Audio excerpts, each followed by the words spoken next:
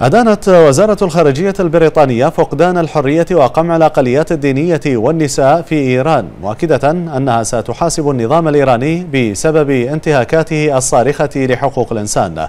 وأفادت بريطانيا في تقريرها السنوي بشأن حقوق الإنسان والديمقراطية أن رد فعل النظام الإيراني على احتجاجات إيران المستمرة منذ نهاية العام الماضي كان قمعيا حيث تم القبض على العديد من المتظاهرين وفقد عدد منهم فقد حياته نتيجة ممارسة التعذيب عليهم في السجون.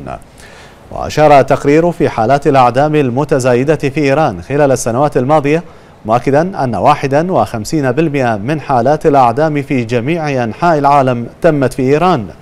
ويعكس هذا التقرير حالة الرفض الدولية لسياسات النظام الإيراني والإصرار الذي يتبناه المجتمع الدولي لوقف تلك السياسات المزعزعة لأمن واستقرار المنطقة.